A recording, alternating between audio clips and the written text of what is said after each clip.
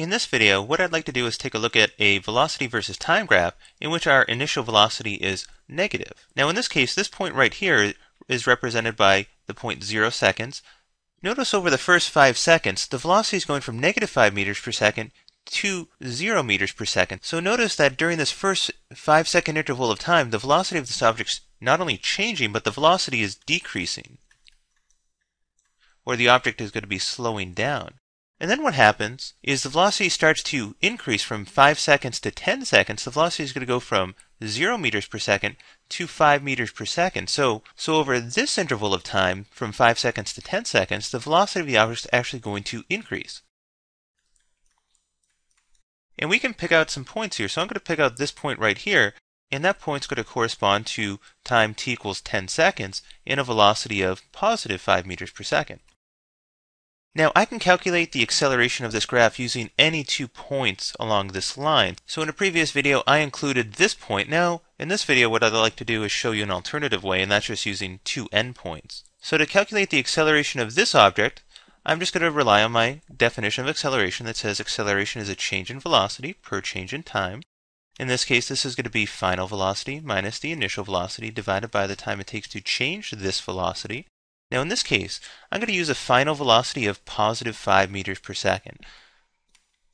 And then I'm going to use an initial velocity of negative 5 meters per second. So it's going to be final velocity, which is 5 meters per second, minus an initial velocity of negative 5 meters per second, divided by the time it takes to go from negative 5 meters per second to 5 meters per second, which corresponds to a time interval of, in this case, 10 seconds. Now, one of the big mistakes students often make is encountering this point right here. A negative times a negative is going to be a positive. So what this is going to work out to be is plus 5 meters per second minus a negative 5, which works out to be 5 meters per second, divided by, in this case, a 10 second interval of time. And so what you should get is 5 plus 5 is 10, so 10 meters per second divided by 10 seconds, or an acceleration of a positive 1 meter per second per second, or meter per second squared. So what you should notice is over this interval where we said the velocity is decreasing, the velocity is going to go from negative 5 to negative 4 meters per second, negative 4 to negative 3 meters per second.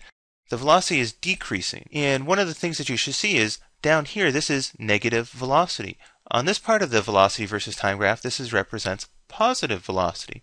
So down here, notice that you have a positive acceleration. The slope of this line is a positive line positive acceleration and negative velocity is going to indicate that the velocity is going to decrease.